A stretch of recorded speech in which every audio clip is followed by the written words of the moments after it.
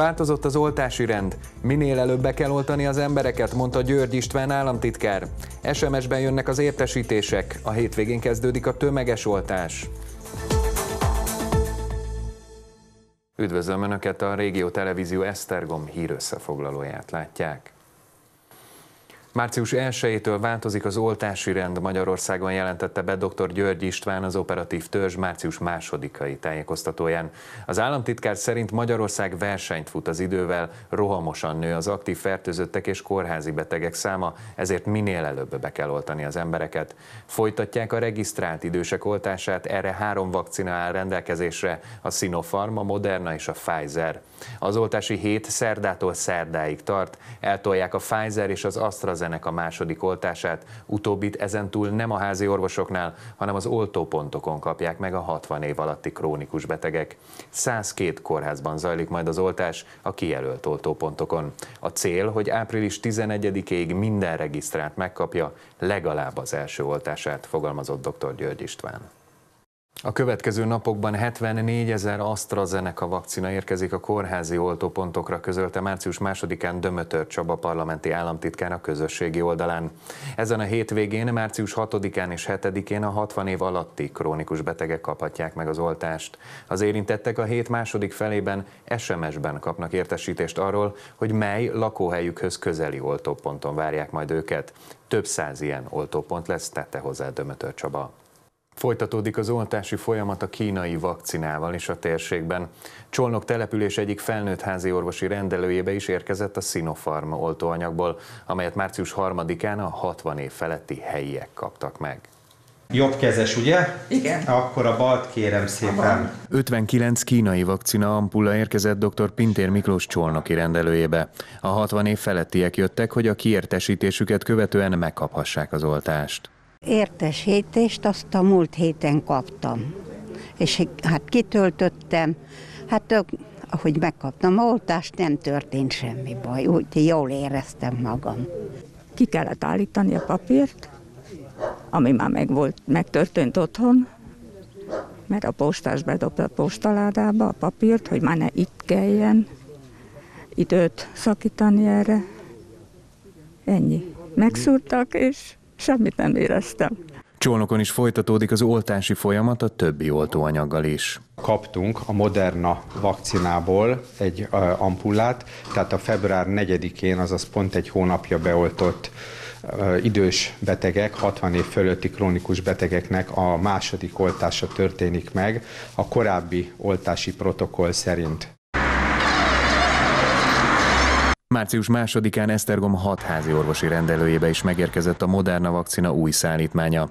Információink szerint a napokban egy újabb Sinopharm adagot is kivisznek majd a régió rendelőibe.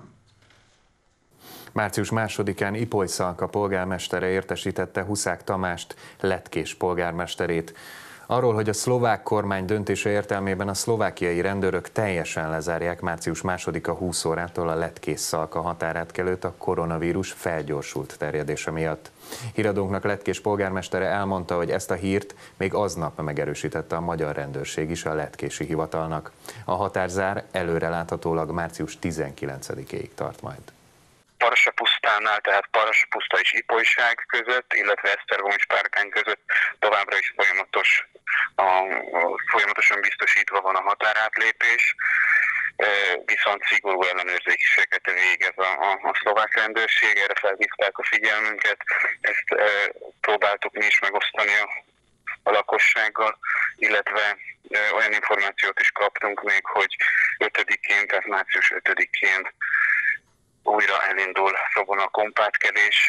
Próbáltuk erre felhívni az emberek figyelmét, hogy aki tudja, vegye igénybe. Március 3-ától Szlovákiában új járványellenes intézkedés csomag lépett életbe, benne az este 8-tól hajnali 1 óráig tartó kijárási tilalommal. Nem fogadták el Szlovákiában azt a szigorítást, hogy a határon ingázóktól is 72 óránál nem régebbi negatív tesztet kérnek. Elég az egy hétre érvényes teszt, ahogy korábban írja az új szó. Március 8-ától északi szomszédunknál több lépcsőben bevezetik az FFP2-es maszkok használatát, ami kötelező lesz a jövő héttől az élelmiszerboltokban és a tömegközlekedésben egyaránt. Megnövekedtek a megbetegedések a térségünkben. Információink szerint a régió általános iskolái közül háromban csak digitális oktatásban tanulnak a gyerekek. A Nyerges újfalui Kenstok iskolában 13 osztály, az Eternity tagintézményben egy osztály tanul online rendszerben. A Leányvári iskola alsó tagozatán rendkívüli szünet van érvényben, míg a felsősöket digitálisan oktatják. A Lábatlani általános iskola minden osztálya online tanul. Március 4-től a Dorogi Petőfi iskola minden osztályában áttérnek a digitális tanrendre. Tokodon jelenleg egy osztály tanul online. Esztergomban, a Montákban négy, a Babicsban egy osztályban rendeltek el digitális tanrendet. Tudomásunk szerint a lábatlani és a nyergesi óvodák részben vagy teljesen bezártak. Az intézkedéseket a nagyszámú hiányzások indokolták. A megbetegedett pedagógusok, dolgozók és gyerekek nem mindegyike Covid fertőzött. Az utóbbi két hétben a betegek vírusos megbetegedésekkel, felső légúti, gyomor és hasfájos, valamint szédüléses tünetekkel jelentkeztek a házi orvosoknál. Ezt tapasztalta Pintér Miklós Csolnoki házi orvos is.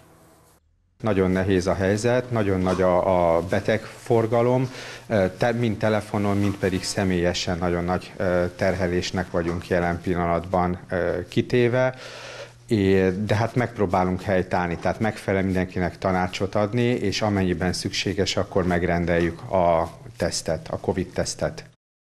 Hamarosan a piacra kerül az amerikai Novavax cég koronavírus elleni vakcinája. Ez az új oltóanyag más, mint a korábbi vakcinák, írja a Bors.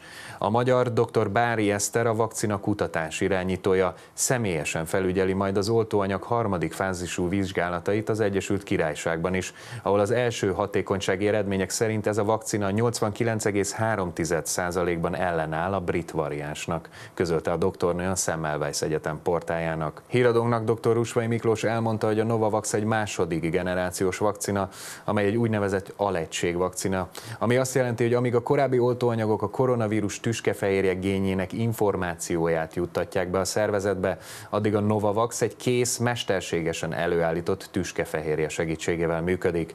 Az ilyen típusú vakcináknak az előnye, hogy nem igényelnek bonyolult szállítási, tárolási módot. A virológus hozzátette, hogy az immunitási idő kapcsán ezek az vakcinák nem szoktak kiemelkedni a más típusú oltóanyagok közül. Óvatosan kell fogadni azokat a híreket, hogy sokkal tartósabb immunitás biztosít, hiszen ezzel a vakcina típussal sem kezdődtek el még az, az immunizálások régebben, mint néhány hónappal ezelőtt, tehát ha azt mondják, hogy tartósabb az immunitás, amit biztosít, azt fenntartással kell kezelni, mert ez még legfeljebb elméleti állítás, de ö, mérésekkel még nem alátámasztható. Friss hírjeinkkel legközelebb pénteken jelentkezünk. Addig is további információkért látogassák meg a honlapunkat, illetve keressenek minket közösségi oldalunkon. Maradjanak az RTVM műsorán, vigyázzanak magukra és másokra is. További szép napot kívánok Önöknek, viszontlátásra!